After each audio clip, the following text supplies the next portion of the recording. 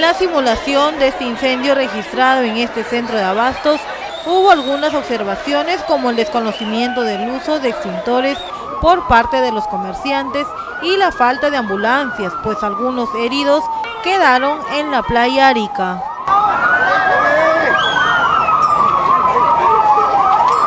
Ellos han tenido la disposición y la voluntad de capacitarse como brigadistas de, defensa civil.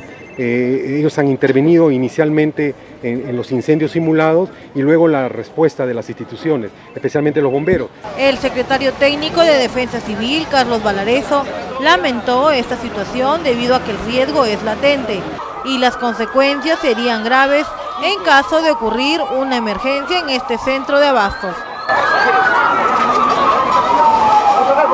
Toman a broma, eh, eso sucede casi en todos los simulacros y, no toman conciencia de, la situación de riesgo en que se encuentran.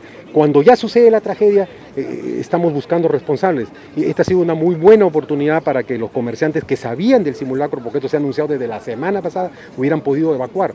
Se espera corregir algunos errores de este plan de contingencia para casos de desastres en este centro de abastos. Recomendaron además que los comerciantes tomen conciencia de las consecuencias que originaría en caso de presentarse una emergencia real.